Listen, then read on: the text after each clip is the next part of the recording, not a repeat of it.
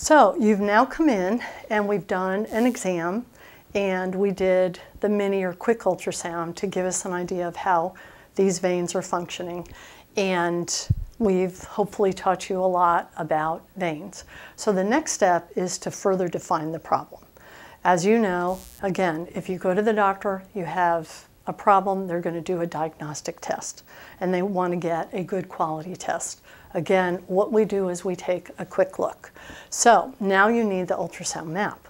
I explained to you before why we call this a map, just because again, it's your unique system of roads.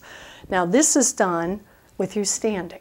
Now everything is done in our office. So you're not taking to a surgical center. Surgery, by the way, is a dirty word in this office because we don't do surgery. But everything, the ultrasound, mapping, the treatment, et cetera, is all done in one room. Now, for those of you who have had babies or your wife has had babies, you know what an ultrasound is like. And this is the same thing. You use the cold gel, although we try to warm it, and uh, basically the ultrasound tech takes a look at your veins. Now, she's not just interested in the anatomy. Where are the veins? You know, do you have branches, etc. She wants to know the function, which veins are working, which veins are not, because that is those veins are the ones that we're going to treat. Now, you have the ultrasound, and hopefully the ultrasound tech has done what I love, the show and tell, where she will squeeze your calf or your lower thigh to watch the blood go up and down in your um, in these veins. Now, again, as I said before, healthy veins, she sees blue. Okay, so she looks at her machine, she squeezes your leg, and the blood goes up, and she says, Yay, that's a normal vein. Now, the truth of the matter is, and I know you don't want to hear this from me, but hopefully, well, you probably already heard this with the mini ultrasound, is the majority of the time what you'll see on the monitor is blue with the blood trying to go up, but the vein is not doing its job, gravity's pulling, so you see a flash of red. So when you see that, that means the vein has not done its job carrying the blood back to the heart. Now, what she does, as I said, is she analyzes your unique situation, your unique problem.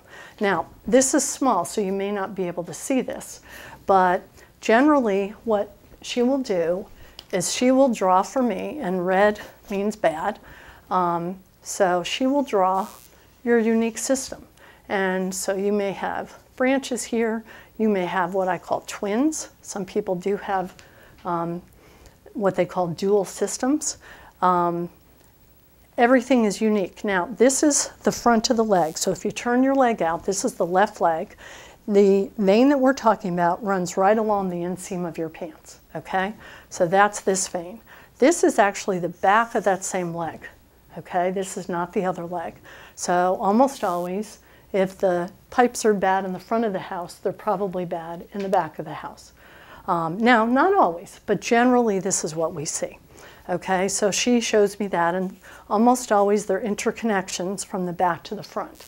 Uh, veins don't just go north to south. If you look at your arms, you'll see that they meander around up and down and from front to back.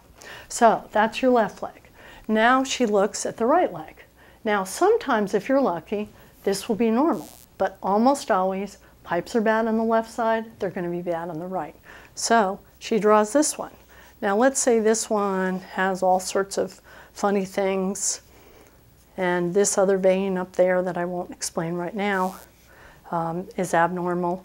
And maybe this vein, which goes down from the inside of your, um, we call it the inseam, but it basically of your leg and goes all the way down the back, this may be abnormal. And you may have a branch here that goes here. So basically the point I'm trying to make is every leg is different. And depending on what we find, that determines the treatment. Now, before this, we want these veins nice and puffy. Um, there are certain things that will cause the blood vessels to swell so we can get a better look. There are certain things that will cause them to constrict or shrink, and then we can't get a good picture. So you will see here that I love visuals. which is part of the reason I'm doing this, is I've learned when we give people papers, things to read, they don't, it doesn't process. And I'm not trying to say that you, the patient, the person, are not intelligent. I'm the same way. I like things that are visual. So before you come in, I bet you've never had a doctor do this for you before. You're going to drink water. And if you want, have a juice box.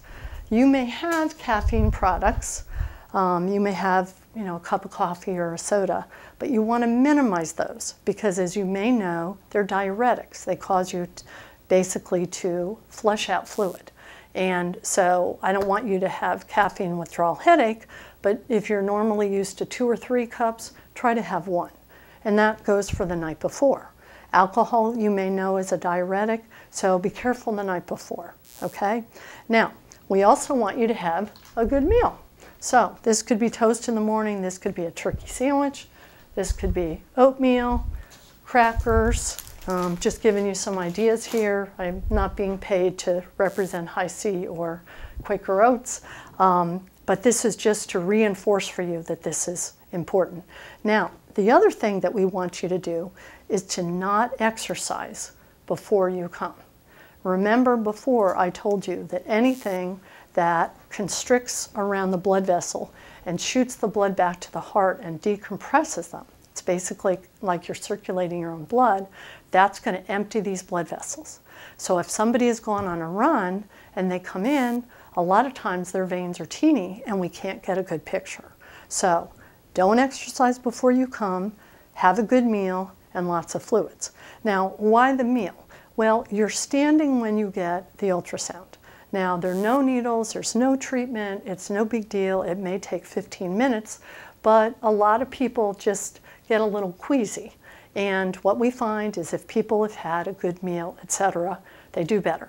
Now, key point, if you are somebody who tends to faint easily, if you're somebody when you get your blood drawn, you don't do well, please let us know. Now again, this is not treatment at this point, but a lot of times it's just the suggestion. Some people, I can't even use the word vein. Even if I talk about pipes, they get upset. I had one person who um, I couldn't do the consult with her. I had to do it with her husband because it upset her. So if you're somebody like that, please let us know because there are things we can do. So you come in, you're all prepared. Every visit, bring nice shorts, um, nice loose shorts. You can go to Walmart or Kmart and just get really inexpensive shorts because many people don't have any, but it's important because we will be ultrasounding from the top of the vein all the way on down. Um, again, this, this procedure takes about 15 minutes. If it's complex, maybe 30. Um, and then when you're done, you're out of here. Again, no treatment that day.